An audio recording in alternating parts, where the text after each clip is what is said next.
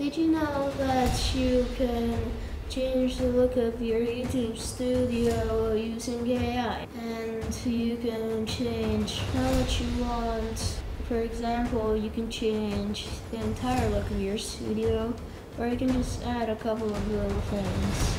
I'll show you how to do it, and we are starting now.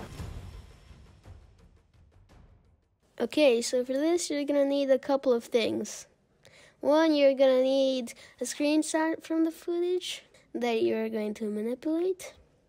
Pretty much every piece of video editing software has this, where it allows you to export the frame. That's the option that you want to use.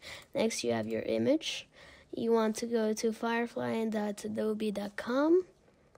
This is currently free while it's in beta, so depending on when you watch this video, it may or may not still be free. But at the time of publish, this is still free. But you want to drag your image into Adobe Firefly.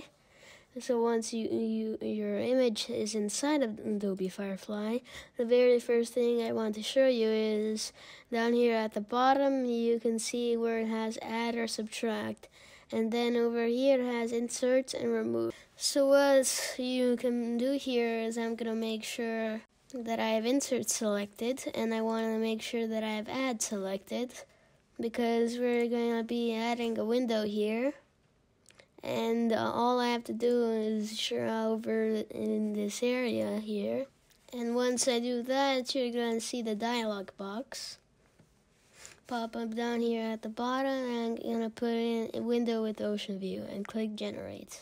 Now once it gives the image, one of the cool things is it gives you different options. So I can come down here and I can say, okay, well, let's try this. That's not really an ocean view. That actually looks okay. And then right here is another option as well. I'm actually, I actually like that, so I'm gonna hit keep. Then I'm gonna come over here to this side and I'm gonna block out, uh, block out this whole area. I'm gonna make sure to be mindful of the desk. It's gonna recreate some of that, but I'm gonna make sure to be mindful of that while I'm erasing all of this. And then I'm gonna put bookshelf. That looks a little ridiculous, so I'm gonna go through the options again. That also looks a little weird, but it looks okay. So this looks a bit more realistic, so I'm gonna roll with that. But first, I'm gonna check what this is. So I'm gonna go with this one here. Since it looks a lot more realistic, I'm gonna hit keep. And then I'm going to add the piece of art right here. The same thing, I'm gonna highlight that area and then I'm gonna describe the image as modern art. Then I'm gonna click generate and then I'm gonna go through the options and I think that looks okay but I'm gonna have a, generate some more just to be safe. That looks almost like an abstract Mandalorian. So I'm keeping it. Now when you go to download this, you want to go back to your editing software and you want to import the image that you just exported and then from there drop it into your timelines. So you can see here when I turn this off, all those things go away. So this is the part you want to be mindful about. Like in one second, so I can change my surroundings. Like now we're in Hollywood, now we're, we can be in Paris. Uh, there's Babylon over there. There's a house with a pool in the car over there. So just imagine it and you can make it with AI.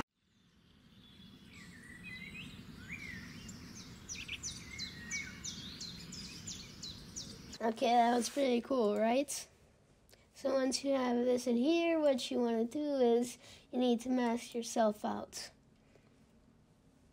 So the editing software I'm using currently, it makes this really easy to do. This is Adobe Premiere. But what I do is go through and I mask myself out like this.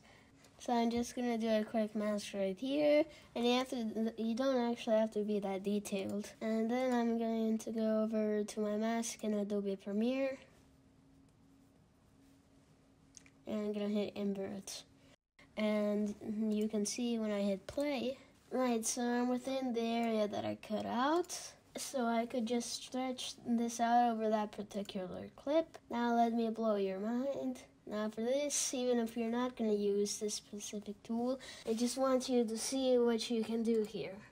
So in event you need in the future, that you know you can learn on from this. And the really awesome thing about this is it's all new. But check this out. So in Photoshop, I'm gonna make the canvas size bigger, just canvas itself. I'm gonna make this go to 5,000.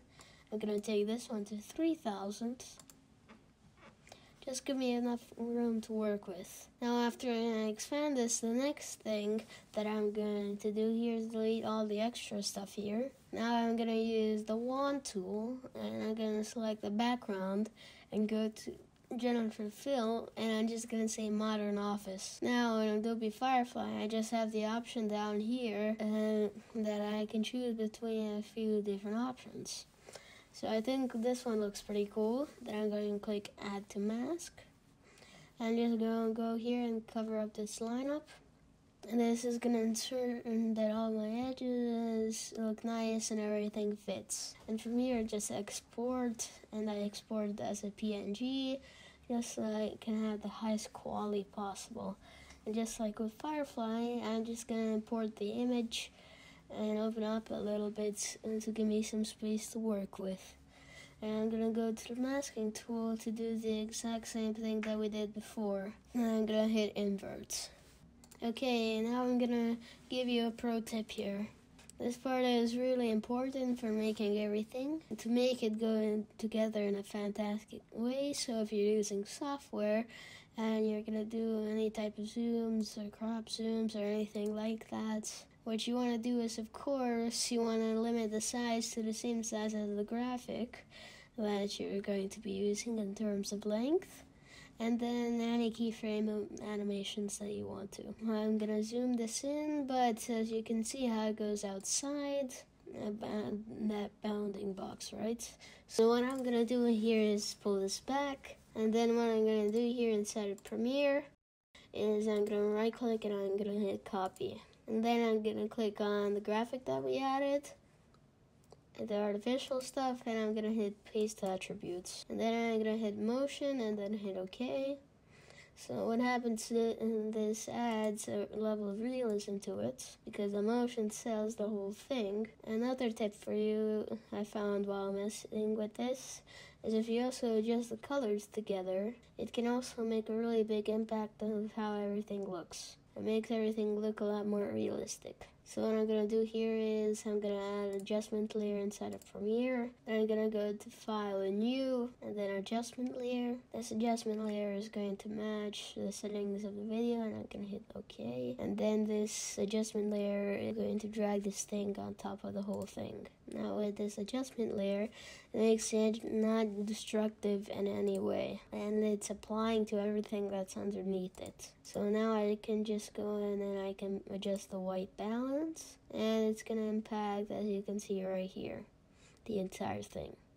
So I'm to adjust the white and balance just a bit. Let's say I'm to pull back a little bit of the contrast or I'm to increase it. I'm to brighten up the shadows and as you can see how this impacts the entire thing. And then I'm going to come down here and I'm to add a vignette, just something minor. I'm to go into creative, add a bit of vibrance to it, maybe sharpen it a little bit to bring it all together. And for the sake of the demo here, I'm actually going to stretch out this over the whole clip for the motion just so you can see how, how real this makes everything look. So we have that slow motion creep of everything zooming in right here. That'll just help sell it as one piece in a real scene. Thank you for watching. See you next time. Bye.